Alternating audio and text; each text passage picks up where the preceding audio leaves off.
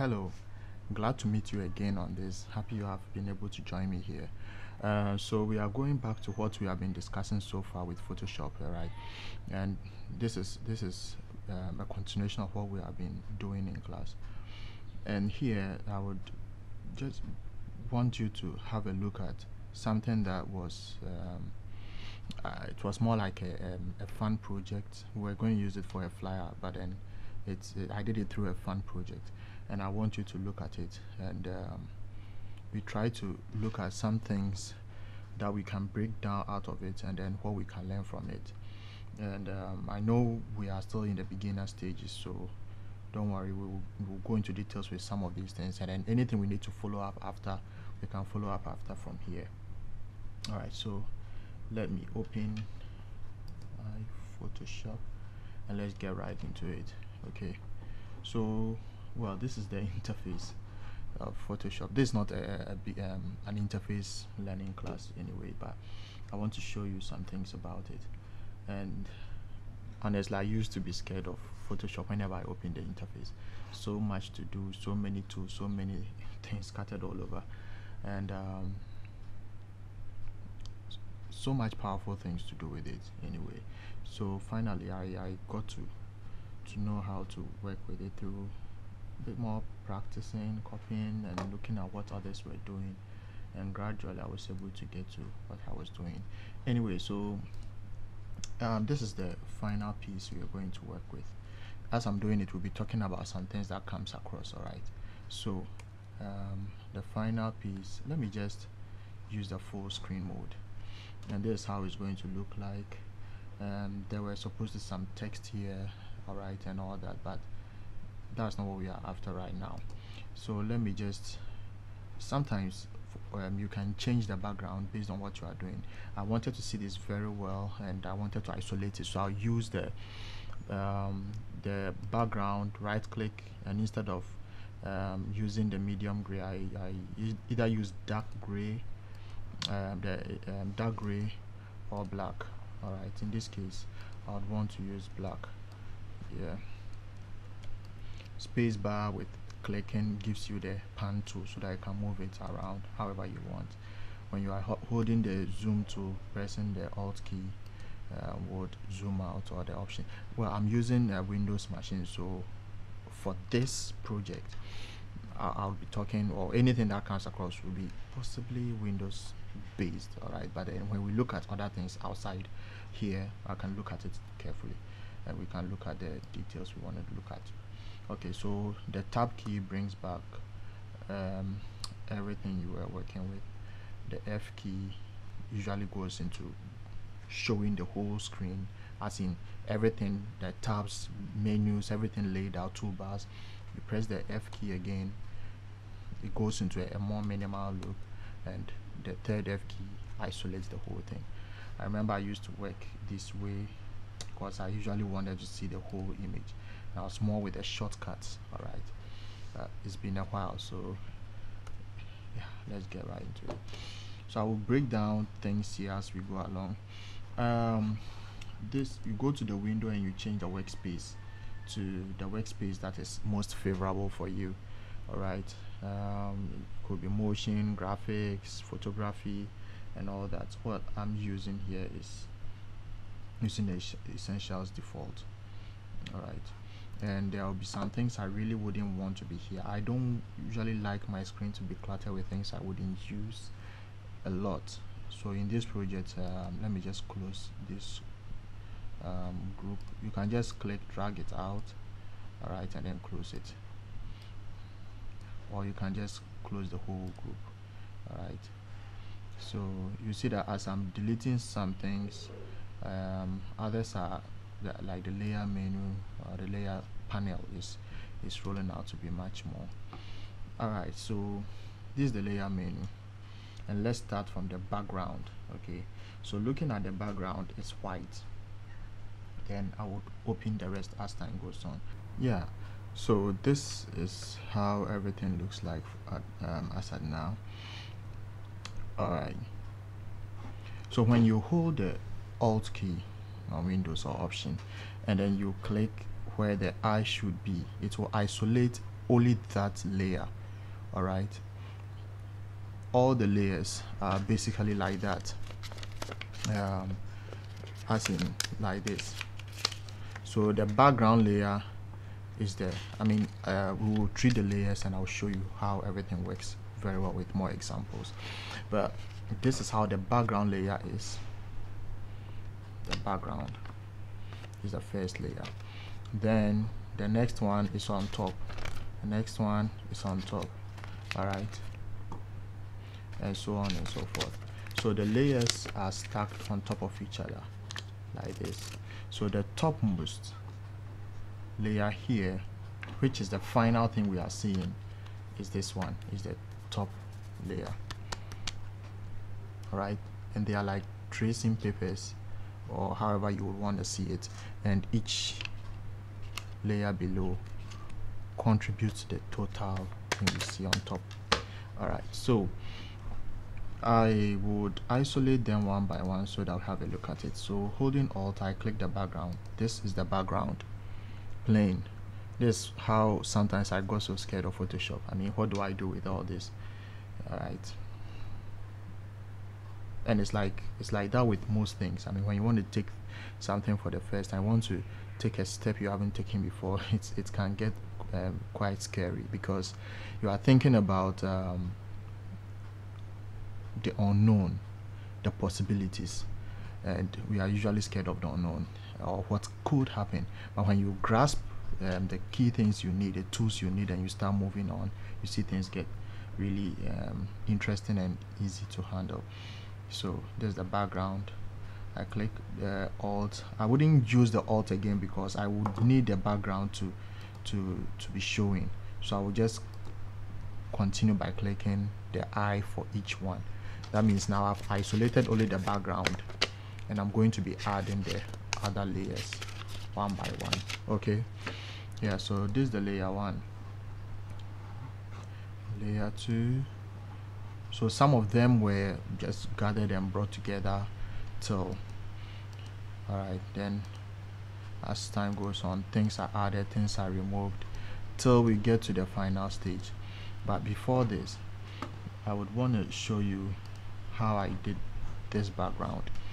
So the same issue with the layers. Let me zoom in so that we see it well.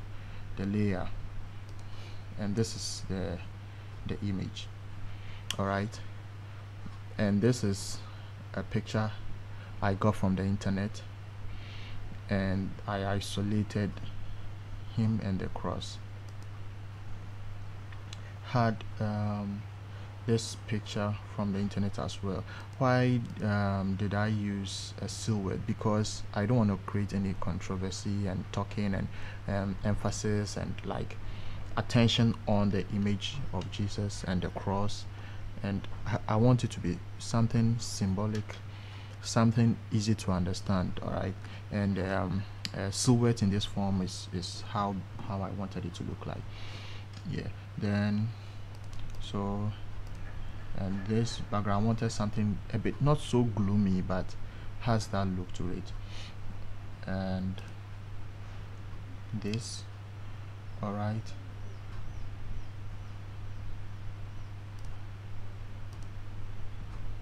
but then I would want to show you um, without this mask.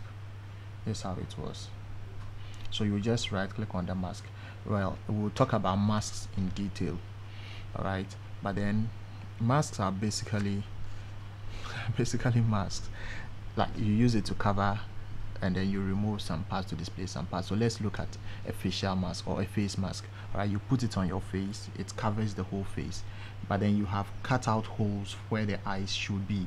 So then you are able to see through the mask. So the mask is covering your face but the holes that you have um, punctuated or cut through the mask will reveal your eye below. All right? Okay. Or yeah that's the quick um, description I can give. When we get to mask we'll, we'll go into that later on. Yeah so that's the mask.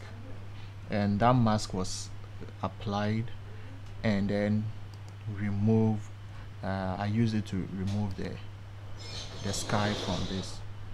Okay.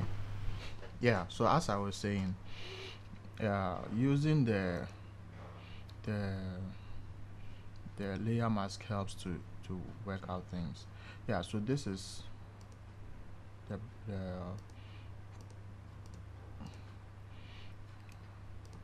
the background. But I wanted only the the skies and the, not the the foreground. So this is the the one I used. And I that's the layer mask that I applied to remove the skies from it. Right so let me apply the layer mask. Okay. I think when you when you enable layer mask or disable it, it stays there but it's like it's covered or removed. But then when you apply it permanently changes the thing you see. So um, let me say let's disable. When you disable you see what was there.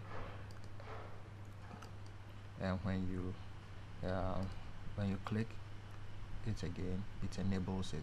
But it's still there so it's non-destructive. That means the sky is still there in the pixels meaning it's still chopping space. But then when you apply it you see it's off now and it has removed it totally so you can't do it so i usually don't work on it this one until i'm done with what i'm doing here. So then i added this. All right so you see the the foreground here is the rocky part. I needed a bit of the grass there and i needed a bit of a sky there all right a bit of a dynamic sky all right so i added that too from an image and this is the um, this is the image okay? Let me also disable it so that I have a look at it. Yeah all right so anyway part of it blended in. Then that's the silhouette from this okay? That's the silhouette. Then I continued building on building on right changing it. And that's the picture initially and just this is where I got the background set up basically. So that's how I got the background set up right and um, from there is when I went on to the things now this is the image all right and this image was made with a Sony RX100 Mark IV. It's, it's, a small point and shoot camera. I think this is this is what I used. This is the camera. I mean, it's not clear. I will write about it later, or we'll talk about it later on in maybe something under photography, not necessarily design, but it's a small camera, very powerful camera, and that's what I used in making this image. Uh, image of one of my photo club members, Kekeli. All right. So this is the image um, I'll talk about how we got this image in uh, later or something else but that's the image and using the selection tools I removed him from this background and brought him into yeah into the, the making of it. All right yeah. So then let me show you yeah. Yeah so we are back to this. Right so this is the background in the previous um, this one and here is the background yeah. And then that's the image trying to isolate it. And then trying to add some highlights to it using the the highlights image and then a layer mask for it. All right then trying to see how I can fit it to the head. All right so I just went through scaling and everything alignment to make sure it aligns just on the head something I would want for it. Applied curves. Curves um, help add a bit of contrast a bit of edge to the picture. So I applied that one too. Right. Let me disable this one. So this is how it looks like. All right and um, of course this is really disorganized. It was in a hurry and I don't advise you to do that. I mean even when you are in a hurry take your time to name all the layers. Right? It's a bad habit. You see that sometimes you wouldn't be able to locate things easily or as quickly as you want. You you, you want to work quickly to save time. But it gets to a point where you need to make corrections or other edits and then you realize so many things are scattered so many things are showing through here and there. They are not grouped. They are they don't have names and you will suffer and waste time that you try to save all right? You waste time sorting out things after edit so take note and then do that when necessary. Yeah so this is where I, I try to cut the background of it using the double exposure um, procedure we'll look at it. Most of you have, have been able to do that. I looked at your project and they were awesome. Yeah so um, the white and then the the double exposure technique. All right yeah and then the text. And for this I used let, let's, let's check from the character. And uh, we use the type to T for shortcut for it and then you click and then you see it was a Trajan Pro 3 I like the Trajan because of its um, you see the Trajan is from like let's say the Emperor Trajan. Uh, from there we have and um, I mean the inscription they had on the Trajan column. So it's more like a bold strong um, not so much uh, ancient but then is is I don't know how to put it but it has this um, historic feel to it. It has this strength to it right with the serifs and then the, the clean shapes and everything with it right? And um, again things like these we'll, we will talk about it and discuss when as things go up. This one is just demonstrating how I went through a, a particular project yeah. And um, this is the text but I mean we didn't use it here. Right. So this is the background I brought in and this is how I, I, I, I achieve this. And then when we come back to this image all right um, this from this let me hold the alt to do this. You realize that I used to show some parts which are brighter than others and all that. Don't worry. We'll look at those things. All right so this is the crown and I brought it also um, an image and I, I erased the edges and cropped it out using the magic wand tool. Here the pen tool wouldn't really help because there are so many sharp pointed edges and a pen tool would really make me suffer. So the basic thing I used was the the magic wand tool. All right um, and a quick selection and all that. So it was able to quickly select. Then I just refined some parts using the pen. Tool it was on a white background anyway. So it was quite easy to bring those things out. Yeah. Then went to the typing uh, adding the cross. All right. Also Trajan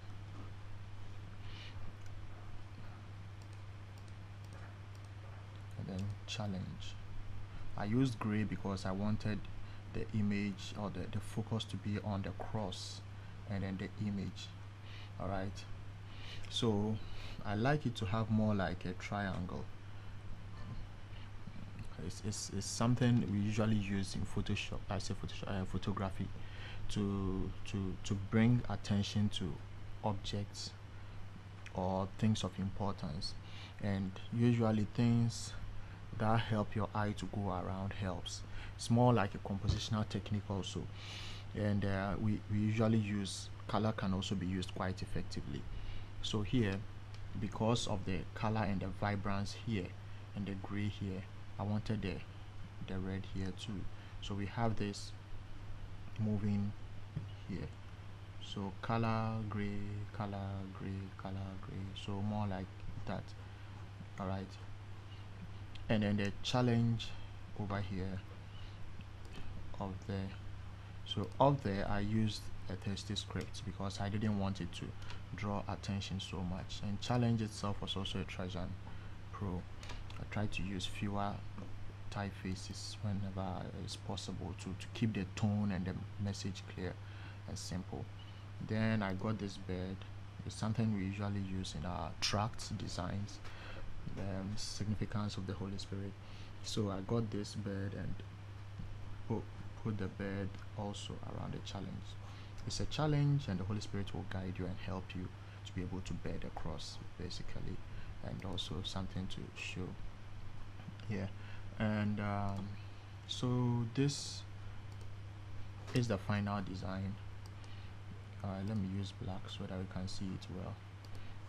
And let me take off everything. Just press um,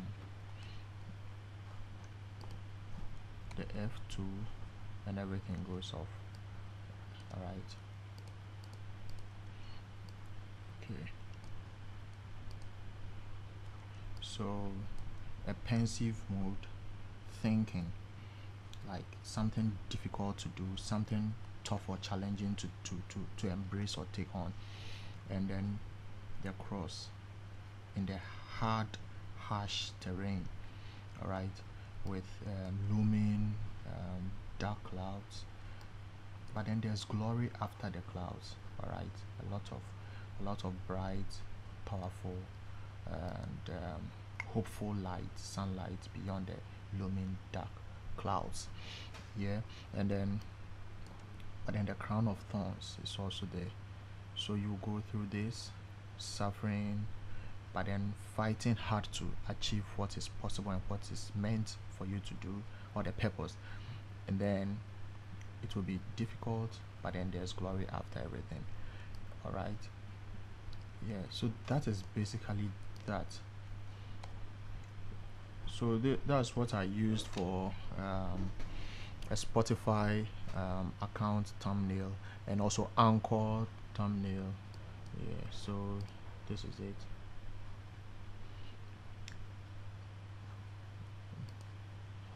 And for any episode I just applied a red I filled a layer of red and then use soft light as the blending mode. Alright we'll discuss the blending modes later on but it helps to to know what each does. Not necessarily the technical aspects and all the algorithms and all that but how it affects. So soft light will usually affect high um, highlights and shadows or lightness or brightness and darkness all right? So that's that's that's it. It's it's more or less adds to the darkness when it is more like below 50 percent and then the highlight when it is also um, around that. But we'll take time and break things down. It's just that yeah so let me show you how so this is the anchor. That's how it is displayed and it's live. And um, the the thumbnail for the, the, the thing. And then on Spotify that's it. Okay. I decided to place it at the corner so that you have a clean look. And um, that's how everything is. I used a similar technique for this and added some textures wooden textures to it for for the the banner design. Okay. Yeah. So that's basically that. And let's say I added a text here to make it a, a, simple flyer to give out. And um, this is how everything will look like at the end of the day. So it's possible to to with some basic things through Photoshop to be able to achieve these things all right and I know as you keep on practicing and putting yourself out there trying your best to to to not necessarily putting yourself but uh, embracing the challenges and working it out let's say every day an hour every day an hour to get to a point you'll be so much better with this and uh, you'll be proud of what you'll be doing.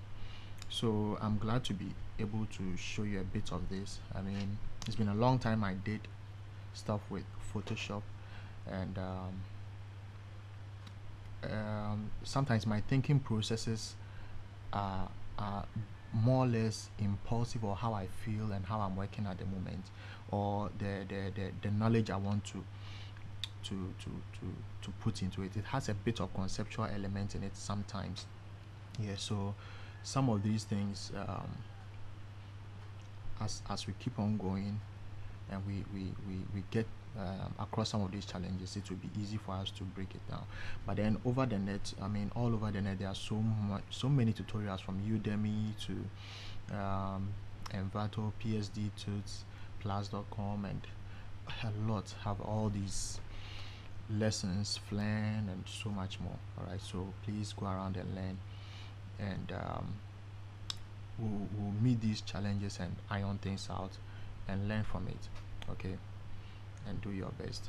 So guys this is something I, I wanted to show you so that you'll have a look at um, a bit of the um, process behind how I got that final thing. And I know it's I mean it's not a it's not a comprehensive walkthrough but as time goes on we hope to understand some of these things and then analyze things well. I mean this wasn't i wasn't thinking of making a walkthrough for this but i wanted us to just go through a little breakdown so that you get to understand a bit of things here and see how i mean the the software can be can be used for your purposes. All right. So let's keep on learning. That's all i can say. Bless you